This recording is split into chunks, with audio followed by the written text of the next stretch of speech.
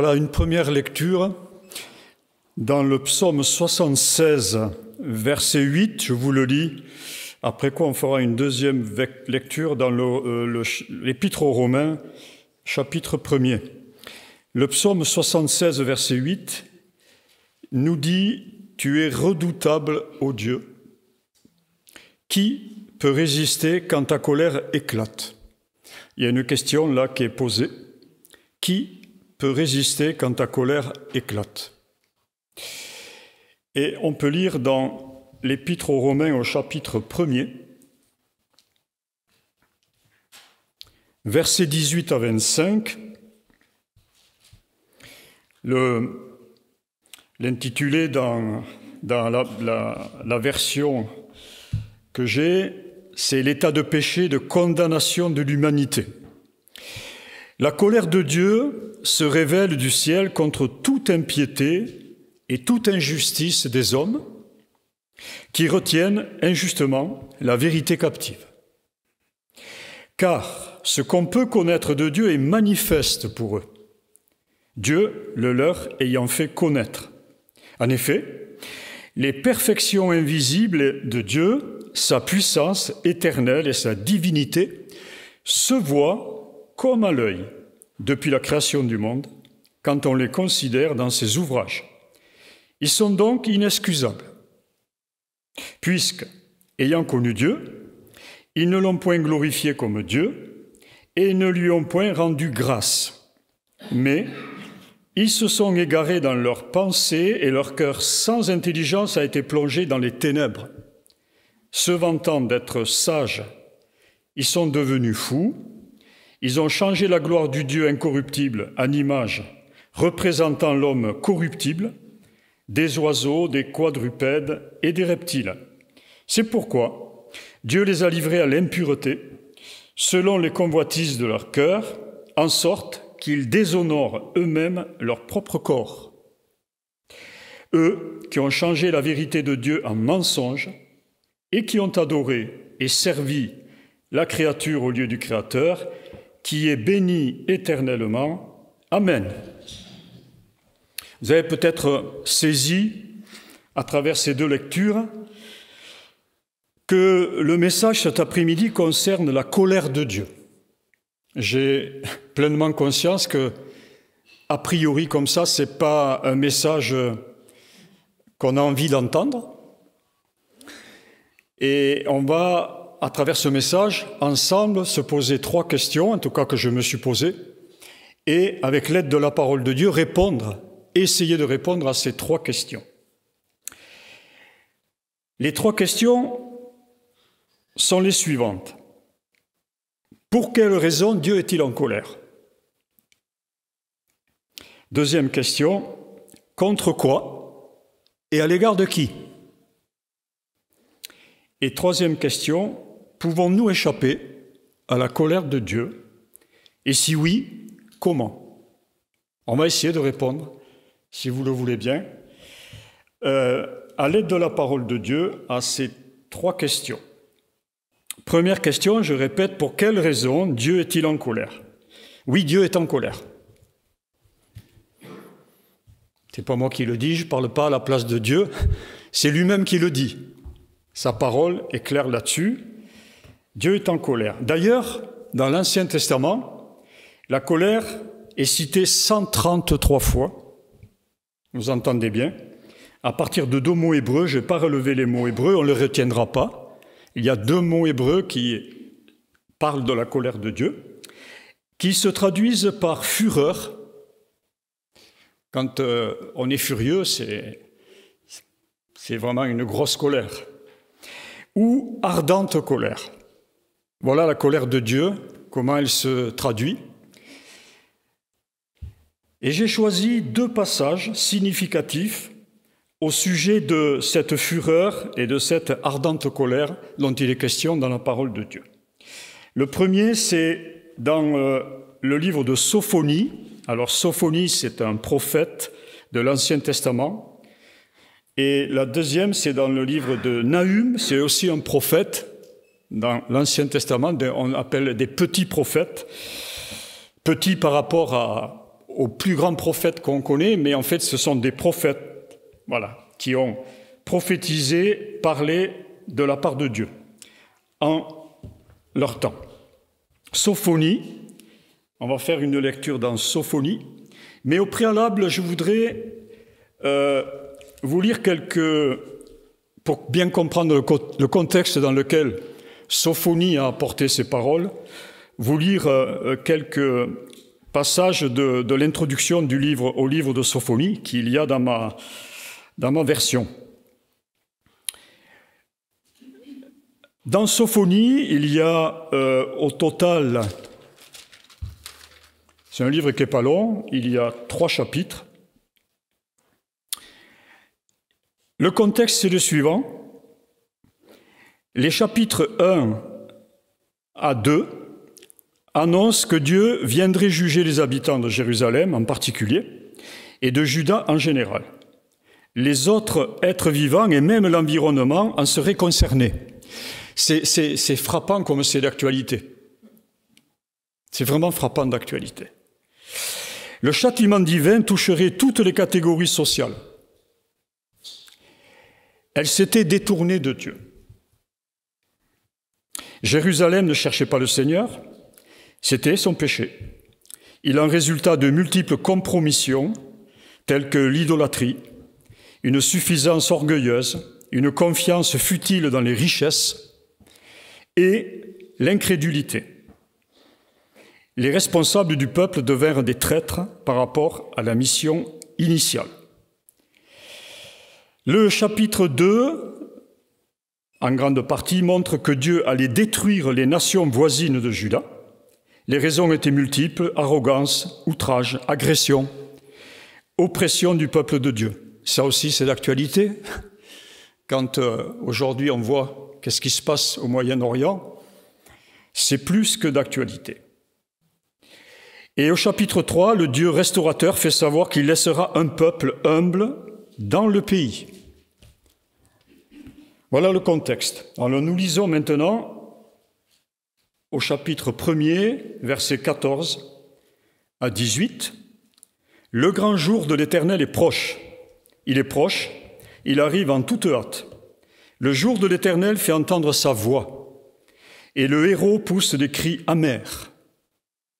Ce jour est un jour de fureur, un jour de détresse et d'angoisse, un jour de ravage et de destruction, un jour de ténèbres et d'obscurité, un jour de nuées et de brouillard, un jour où retentiront la trompette et les cris de guerre contre les villes fortes et les tours élevées. Je mettrai les hommes dans la détresse ils marcheront comme des aveugles, parce qu'ils ont péché contre l'Éternel. Je répandrai leur sang comme de la poussière et leur chair comme de l'ordure. Ni leur argent, ni leur or ne pourront les délivrer au jour de la fureur de l'Éternel. Par le feu de sa jalousie, tout le pays sera consumé, car il détruira soudain tous les habitants du pays. franchement, on aurait envie d'entendre autre chose, mais la parole est la vérité. La parole est la vérité actuelle, comme elle a été la vérité du temps de Sophonie. Nahum, un peu plus loin, donc l'autre prophète, il est avant. Nahum est avant Sophonie dans la parole. Nahum, chapitre 1er, versets 6 à 7. Qui résistera devant sa fureur? Qui tiendra contre son ardente colère? Sa fureur se répand comme le feu, et les rochers se brisent devant lui. Il y a un verset qui vient juste après, qu'on reprendra tout à l'heure. L'Éternel est bon. Parce qu'on pourrait se dire jusqu'à là, mais on a un Éternel euh, vraiment euh, rempli de fureur,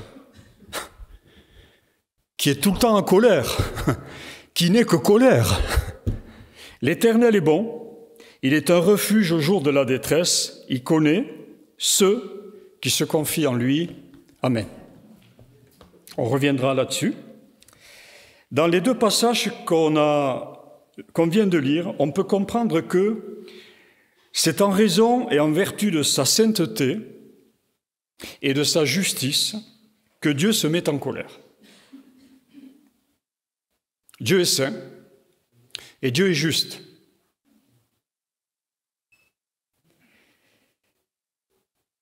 Dieu est bon et miséricordieux aussi, mais il est et il demeure saint et juste.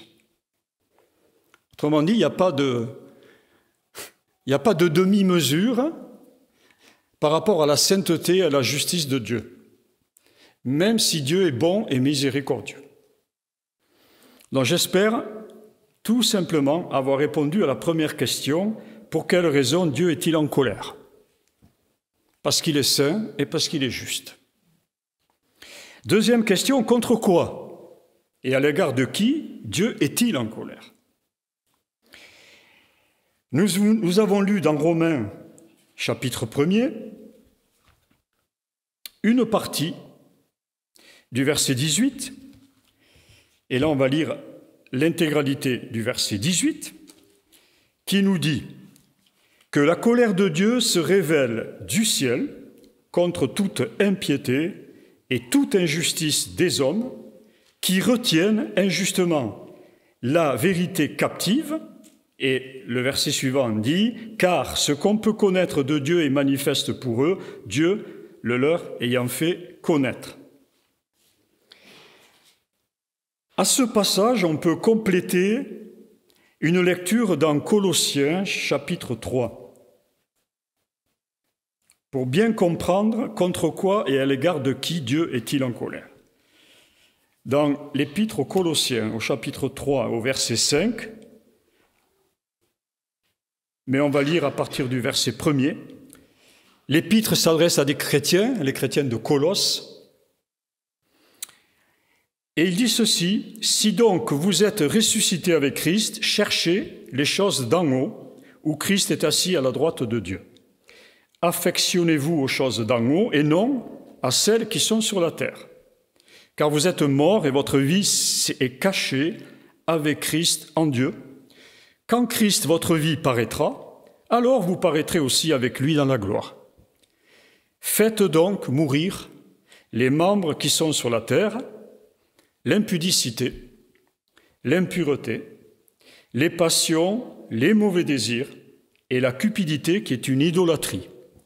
C'est à cause de ces choses la colère de Dieu vient sur les fils de la rébellion, parmi lesquels vous marchiez autrefois lorsque vous viviez dans ces péchés.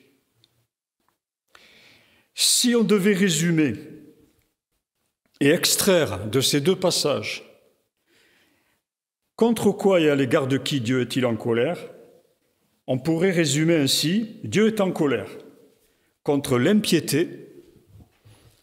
Alors l'impiété, c'est tout ce qui est contraire à la vie, à la recherche de Dieu, à la vie euh, religieuse, entre guillemets, aux choses de Dieu.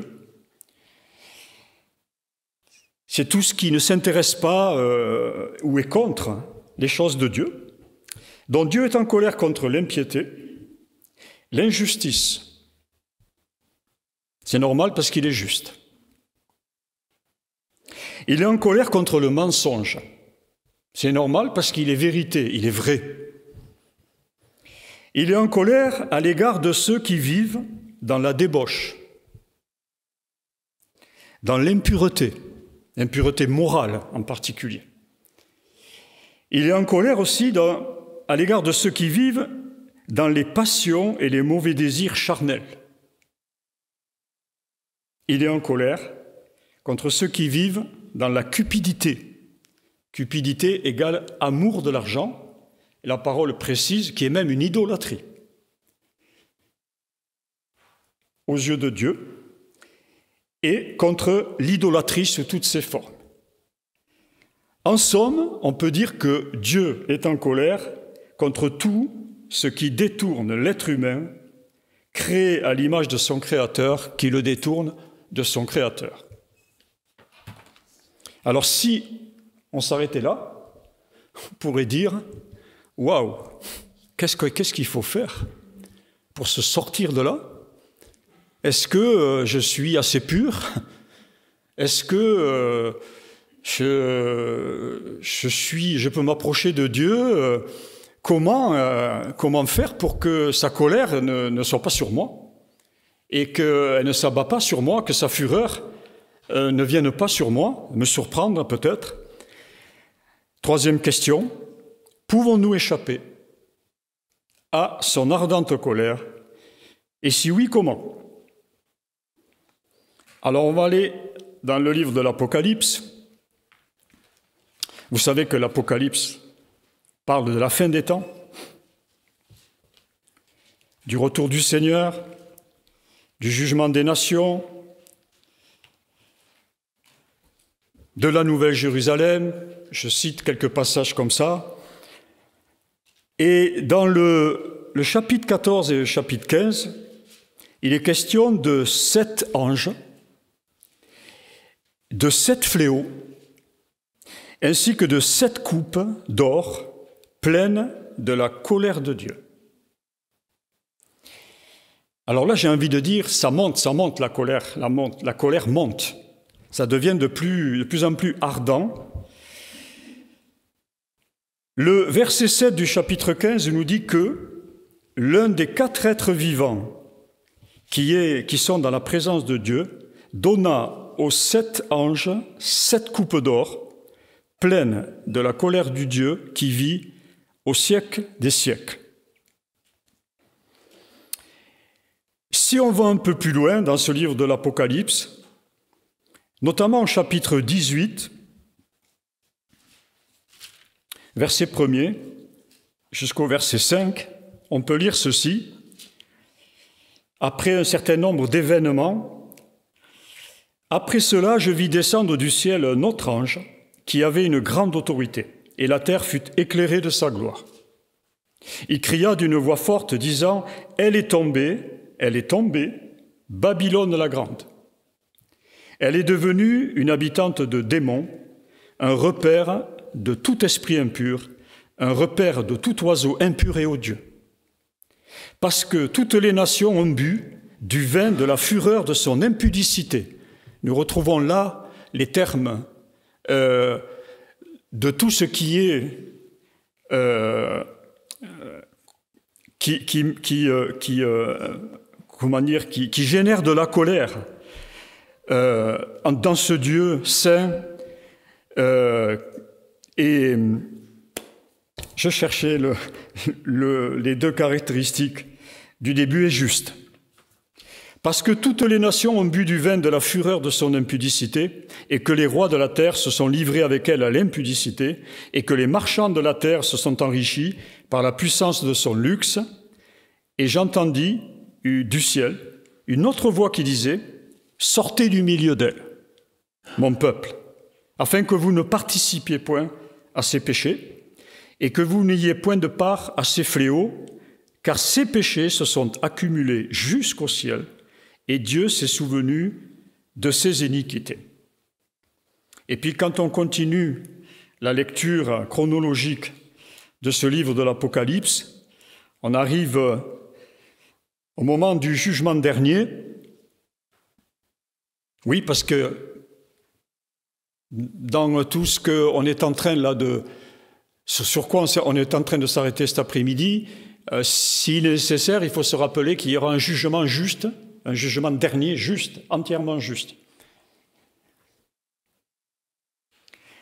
Et dans ce chapitre 20,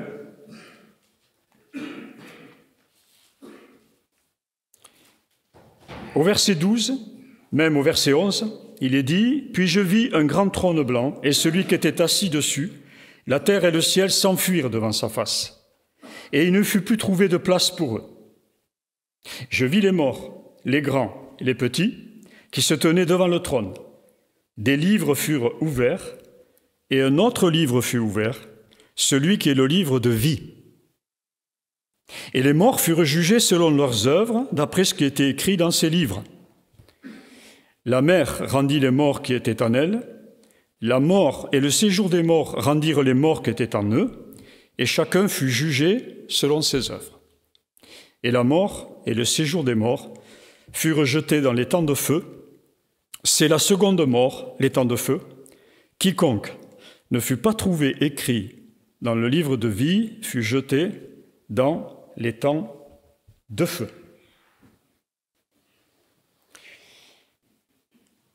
Il faut respirer un peu, parce que j'avoue que lire ces paroles, ça ne peut pas nous laisser indifférents. Je dirais même que ça nous fait quelque peu trembler.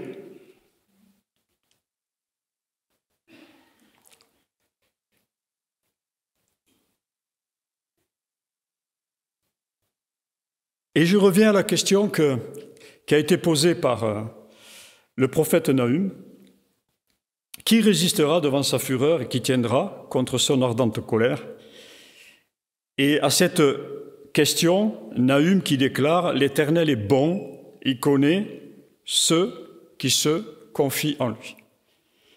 Alors je pense que cet après-midi, si nous sommes là, ben, c'est pour qu'on continue à se confier dans le Seigneur, pour celles et ceux qui ont été réconciliés avec lui par euh, la foi mis en Jésus-Christ et en son sacrifice, mais peut-être pour d'autres qui n'ont pas encore pris une décision radicale, c'est l'occasion pour qu'ils se confient véritablement en l'Éternel, en ce Dieu saint et juste, qui veut nous épargner de sa colère.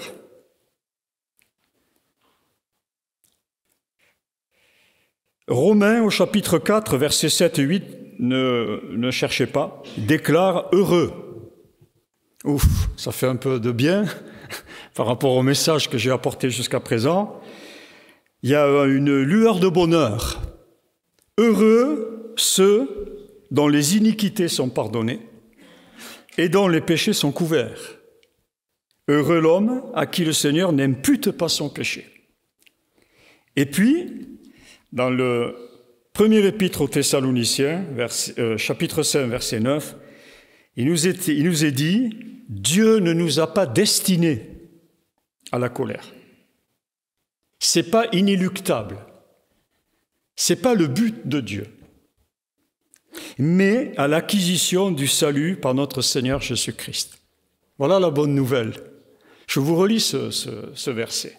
Dieu ne nous a pas destinés à la colère mais à l'acquisition du salut par notre Seigneur Jésus-Christ. Jésus-Christ lui-même a affirmé, celui qui croit au Fils, c'est-à-dire à lui-même, à Jésus, à la vie éternelle. Celui qui ne croit pas au Fils ne verra pas la vie, mais la colère de Dieu reste au contraire sur lui, demeure sur lui.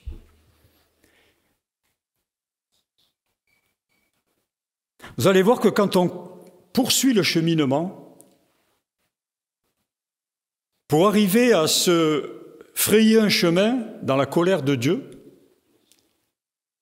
et trouver la solution et la réponse à comment échapper à cette colère, on arrive inévitablement à Jésus-Christ.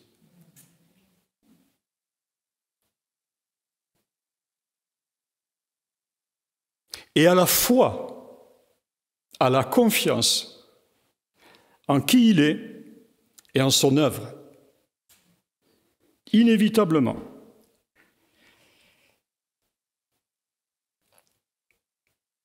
Pourquoi? Pourquoi par rapport à la colère? En quoi Jésus, j'allais dire, a été concerné par la colère de Dieu. En quoi Jésus peut non seulement nous aider, mais nous éviter la colère de Dieu.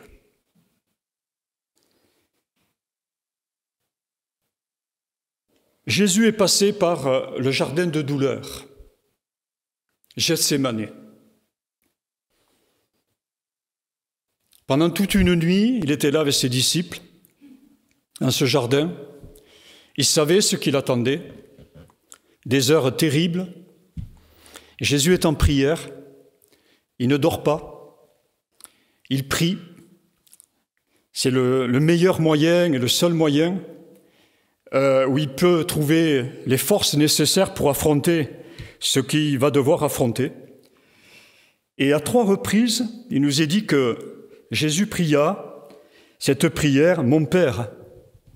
Il s'adressait donc à Dieu. S'il n'est pas possible que cette coupe s'éloigne sans que je la boive, que ta volonté soit faite. Qu'est-ce que cette coupe? Cette coupe, c'est la colère de Dieu. Jésus, à ce moment-là, sait qu'il va devoir boire cette coupe. Et là, il est question d'angoisse, il est question de tristesse. Lui-même dira, je suis triste et angoissé jusqu'à la mort, mon âme est angoissée. Jésus, à ce moment-là, commence à rentrer dans, j'allais dire, cette, cette dimension de la colère de Dieu et cette mission qu'il a de boire la colère de Dieu afin de nous permettre d'échapper à la colère de Dieu.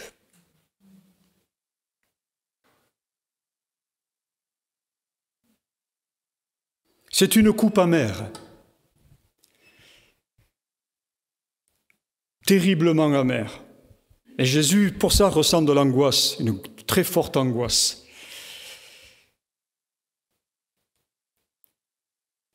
Un peu plus tard, Jésus a été condamné, on est venu le chercher, il a été condamné, il a été euh, fouetté, on lui a mis une couronne d'épines, etc., on lui a craché au visage, etc., etc. Et là maintenant, il est amené à Golgotha, il a porté sa croix, il est cloué, et il nous est dit qu'après plusieurs heures, c'est l'évangile de Marc qui nous rapporte ceci. On va le lire ensemble.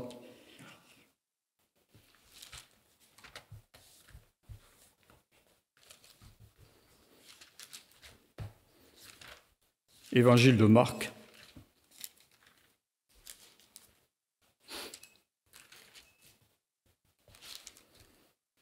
Jésus est donc crucifié maintenant. Il nous est dit donc au chapitre 15, verset 33. La sixième heure étant venue, il y eut des ténèbres sur toute la terre, jusqu'à la neuvième heure. Et à la neuvième heure, Jésus s'écria d'une voix forte, Eloi, Eloi, lama sabachthani, ce qui signifie, Mon Dieu, mon Dieu, pourquoi m'as-tu abandonné? À ce moment-là, Jésus est abandonné de son Père à cause du péché qu'il porte. Il fait face aux ténèbres du péché pendant trois heures, alors que son corps devient de plus en plus faible. Et il s'adresse à son Père encore en lui posant cette question, pourquoi m'as-tu abandonné? Jésus s'est exprimé, il a eu besoin sûrement à ce moment-là d'exprimer tout ce qu'il euh, devait vivre à l'intérieur de lui. En réalité, à ce moment-là, Jésus a été abandonné, mais lui n'a pas abandonné son Père, si je puis dire. Il n'a pas abandonné sa mission. Jusqu'au bout, il a accepté de boire la coupe de la colère de Dieu. À cause du péché, à cause des péchés, à cause de mon péché, à cause de votre péché. Jésus a accepté volontairement, jusqu'à son dernier souffle, de boire cette colère de Dieu. Il n'y avait pas d'autre moyen en réalité, il n'y a pas d'autre moyen pour euh, nous pouvoir échapper à la colère de Dieu que d'accepter le sacrifice de Jésus, d'accepter que Jésus a payé notre dette à cause du péché vis-à-vis de Dieu. Le prophète Ésaïe avait prophétisé 700 ans avant l'arrivée de Jésus que le châtiment qui nous donne la paix est tombé sur lui. À ce moment-là, le châtiment de Dieu est littéralement tombé sur lui. Le châtiment qui devait être le nôtre et qui est le nôtre ou qui sera le nôtre si nous, nous, nous ne tournons pas vers Jésus-Christ. Il n'y a pas d'autre moyen d'échapper à la colère de Dieu. La colère de Dieu n'est apaisée parce que Dieu est toujours en colère. Hein. Pourquoi? Parce que le péché est toujours là. L'iniquité est toujours là. L'injustice est toujours là. L'idolâtrie est toujours là. Les passions, les désirs de la chair sont toujours là. Dieu est en colère. Et il y a de quoi, j'allais dire, il y a de quoi être en colère. Et la colère de Dieu n'est apaisée qu'en Jésus-Christ, qui s'est livré lui-même pour nos péchés, volontairement pour nos péchés. Et c'est pourquoi l'apôtre Paul déclare dans Romains 8.1, il n'y a maintenant, c'est pas au moment, le jour du jugement dernier, c'est il n'y a maintenant aucune condamnation pour ceux qui croient en Jésus-Christ.